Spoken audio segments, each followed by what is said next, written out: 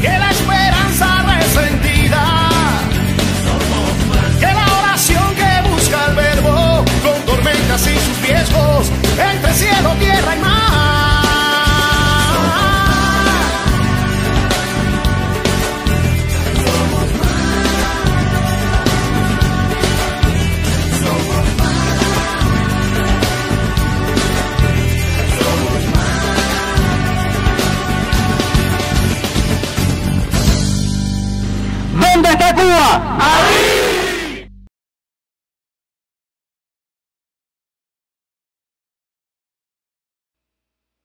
La infraestructura, las carreteras.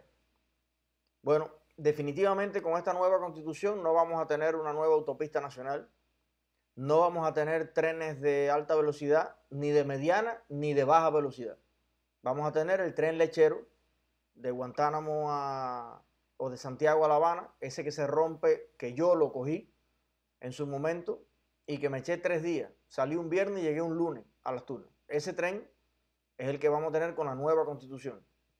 Vamos a tener la autopista, aquí hay un tramito que parece que la foto la tiraron cuando lo habían acabado de arreglar, lleno de parches de diferentes colores, de diferentes materiales y donde evidentemente año tras año se producen más muertes por accidente o casi tantas como por cáncer y como por muchas otras eh, cuestiones naturales. O sea, la accidentalidad en Cuba viene siendo un problema ya de seguridad nacional. Pero no vamos a poder tener nuevas infraestructuras porque los cubanos no pueden asociarse económicamente y construir, eh, estructurar, financiar grandes proyectos inmobiliarios. Fíjense, eh, una cosa que a mí me impresiona mucho cuando salgo a cualquier punto de la ciudad de Miami o de los Estados Unidos, pero no solo de eso, sino de Buenos Aires, de muchas capitales por ahí que he visitado, siempre están en construcción. Usted ve una cantidad de grúas. Oye, mira que ese Brickell tiene edificio y siempre están haciendo otro edificio más, o el que estaba más alto o más ancho, no sé. ¿Cómo hay grúas? Y la construcción es uno de los sectores más importantes para mantener la vitalidad de una economía, por la cantidad de empleo que genera, la cantidad de oficios que combina, de compañías que convergen para un mismo proyecto. Es impresionante. Desde arquitectos, pintores, ebanistas, eh, diseñadores, eh, bueno, es una cantidad de constructores que eso es tremendo. Bueno, Cuba yo creo que no tiene ningún proyecto inmobiliario de infraestructura en este momento que sea digno de reconocer. Los edificios que hay no se pueden reparar, se derrumban muchas veces y por desgracia con personas adentro cada vez que hay un aguacero. No conozco que se esté tirando ni una nueva carretera ni arreglando de manera importante las que hay. No se está haciendo ningún edificio alto en ningún lugar de Cuba. Ni siquiera los típicos donde se planta aquello. Creo que esos fueron los únicos que se hicieron cuando la Unión Soviética nos daba de todo a cambio de geopolítica. Porque en, en, en, Rusia no había de nada. Eh, pues después de eso, Cuba es el único país del Caribe y de América Latina que no está construyendo ningún edificio alto, ni ningún gran proyecto de infraestructura que se conozca. Y los pocos que se estaban construyendo, la conductora de agua de no sé dónde en Santiago y lo demás, el, el, la, lo del puerto del Mariel, tengo información de primera mano. Conocí hace poco a un inversionista del Mariel. Eso es una historia para otro momento pero ese proyecto en general es un fracaso. Allí olvídense de que el Mariel va a sacar a flote la economía cubana. Y después le voy a explicar las causas y le voy a explicar por qué. Pero es un país sin confianza jurídica, es un país donde están haciendo negocios dirigentes de la Ñico López, del partido, que no saben nada de negocio, nada de empresa, que piensan solamente con un filtro ideológico y que son capaces de decirle a un inversionista que está negociando una inversión de millones de dólares, oye, si no nos rendimos en 50 años fajados con los americanos, tampoco te vamos a dar a ti eh, la razón. En nada. Esa es la Cuba y esos son los dirigentes que están negociando. Así que la infraestructura en Cuba va a seguir de mal en peor. Un parque automotor que no se puede renovar, los mismos almendrones rodando, las mismas carreteras y cada vez menos edificios y menos patrimonio. Las comunicaciones. Las comunicaciones, eh, pues nada, la nueva constitución no abre la participación de ninguna otra compañía.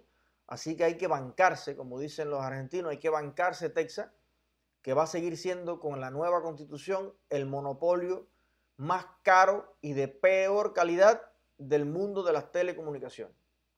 Texas viene siendo los Gili en carro, que para todos esos eh, dirigentes y algunos militares que se van a gloria de andar en un Gili, yo les recomiendo que ustedes busquen al Gili en las pruebas de seguridad de Latinoamérica, que son las más suaves. No es ni Europa ni Estados Unidos, las de Latinoamérica. El Gili cogió, creo que fue en el año 2015, la peor calificación. Un Gili que se mueve a 30 kilómetros por hora impacta contra algo y muere todo el mundo. Eso, es, eso está hecho de lata de, cerveza. lo peorcito. Bueno, pues eso mismo. El Gili en carro es Texas en telecomunicaciones. Somos el país más atrasado en telecomunicaciones y el que más caro paga las comunicaciones. Y lo vamos a seguir siendo gracias a esos 6 millones y pico de sí por una constitución que no permite en el país que haya diversidad de opciones, diversidad de ofertas, diversidad de precios, que haya competencia justa para que usted y yo como consumidor, como familia, podamos tener precios mucho más asequibles. ¿Qué precio vamos a pagar? Los que el Partido Comunista eh, le dé la gana de poner. La vivienda. Este es un tema interesante porque em, la vivienda, como ustedes conocen, eh, es uno de los temas más críticos que hay en Cuba. Los materiales son carísimos, es prácticamente una proeza histórica construirte un cuarto, una casa, arreglar un baño, sobre todo si eres un jubilado, sobre todo si eres un maestro, sobre todo si eres un médico o una doctora que ejerce dentro de Cuba, eh, es muy difícil usted poder tener una vivienda decorosa. La Habana se ha convertido en una especie de eh, lugar muy peligroso donde un viento, un, imagínense usted un ciclón, no sé, un, cualquier evento que se dé, puede convertir a nuestra capital en una gran tumba colectiva, porque hay barrios y barrios y barrios y barrios que hace muchos años ya debieron ser demolidos por completo. Claro, en un país normal que se fuera desarrollando al ritmo normal, eh, pasa como aquí, que un edificio ya que tiene 30 años es un edificio viejo y constantemente se va renovando, renovando, renovando la infraestructura. En este caso es una loma de piedra y escombro, gran parte de la ciudad, y todavía hay en muchas provincias afectados por huracanes que pasaron hace décadas, hace 10, años que pasaron determinados ciclones y todavía no se ha eh, proporcionado la ayuda a los techos, a todos esos derrumbes totales, parciales, eh, y se sigue acumulando un déficit de vivienda tremendo. Entonces, bueno, por lo que veo, esto no va a cambiar con eh, la nueva constitución, así que eso es lo que le toca al sí en este aspecto. La oposición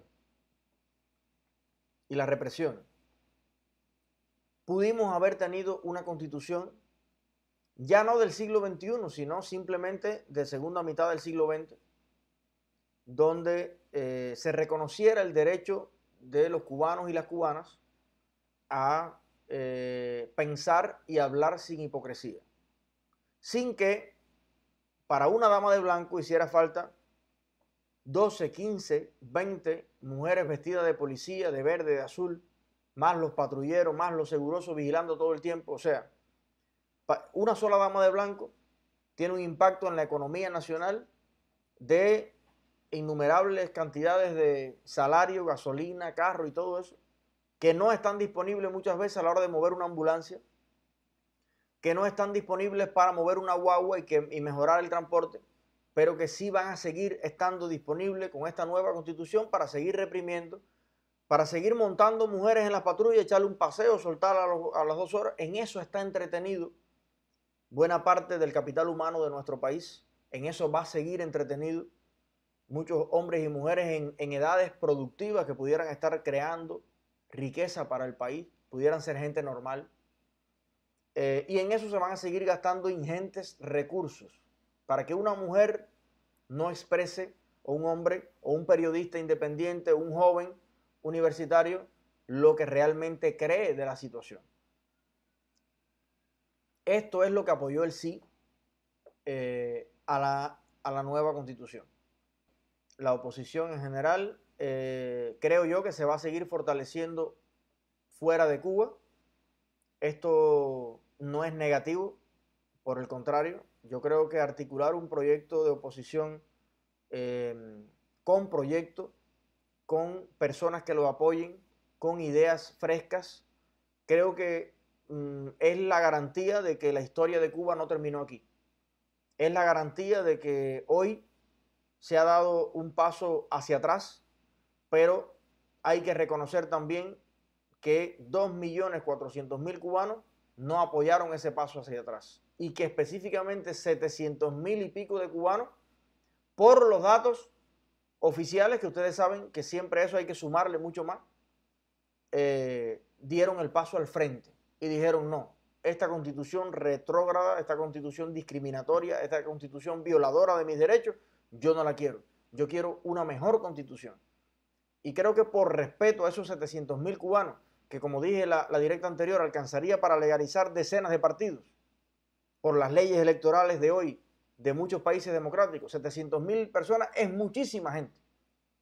Y en honor a ellos, junto con nosotros, junto a todos esos que decidieron también no votar, no respaldar ese proyecto, eh, es que la oposición debe seguir organizándose, debe seguir sumando, debe seguir eh, haciendo eh, toda la propaganda y toda la, enviando toda la información posible a Cuba para que la historia de Cuba no termine con este 24 de febrero, sino que comience un periodo de cambio donde esos 700 mil se conviertan en 2 millones y después en 4 y después en 6 y que esta situación crítica que se ha causado con esta constitución pueda ser revertida y Cuba pueda eh, ser un país mejor y distinto. El cambio eres.